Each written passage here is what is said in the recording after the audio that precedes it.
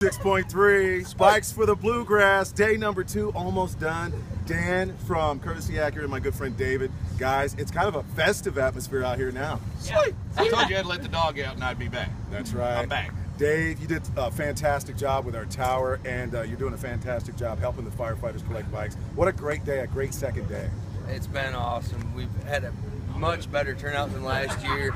Bikes are still rolling in. Please keep them rolling in.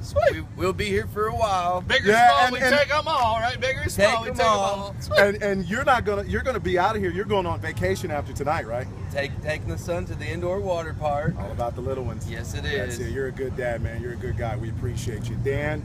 We did it. Uh, we did our goal earlier, That's right. That's right. 115, and now we're at 135. Well, we got an hour left, Rally tally, a couple hours left, and then we're and then we got tomorrow. and then tomorrow, and then part of Monday till Sweet. nine. Oh boy, it's All gonna be good. That's it. Bikes for the Bluegrass 2014, courtesy Acura. It's John Cruz on 106.3.